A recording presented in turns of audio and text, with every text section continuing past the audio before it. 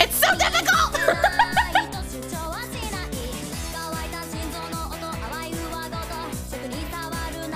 oh wait, you know what? You know what'll fix it? Hold on. Hold on.